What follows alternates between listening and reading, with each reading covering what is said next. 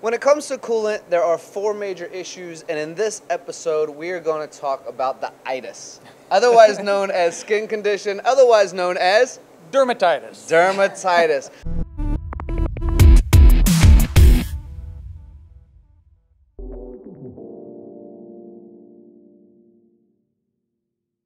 So let's talk about dermatitis, John.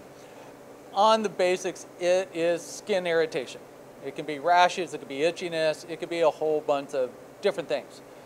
Uh, people often blame the coolant for dermatitis, which sometimes it can be, but a lot of times it's all about how we maintain our coolant.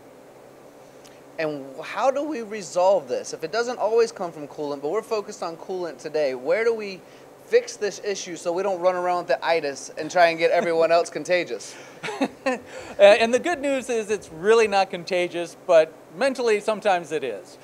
So the easiest thing you could do is maintain your coolant concentration. Believe it or not, having the right concentration is the easiest way to take care of the itis. And just think of it this way.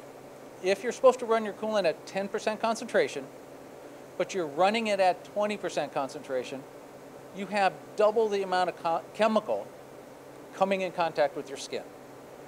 And so bringing it back down to where you're supposed to run it will help get rid of the problem. That's the most common.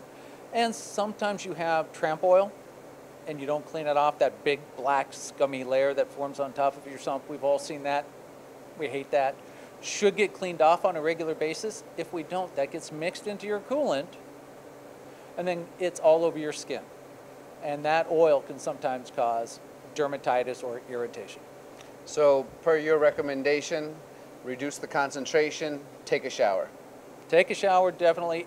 We like to recommend to people every time you leave your machine, wash wherever the coolant splashes. Wash your arms, wash your hands. If it happens to splash on your face, wash your face. So wash every time you leave your machine, heading in to go talk to the production manager, heading off to the restroom or the break room. Wash your hands with soft soap. Don't use that granular stuff because that tears up your skin and just makes your skin a little bit more sensitive. Great advice.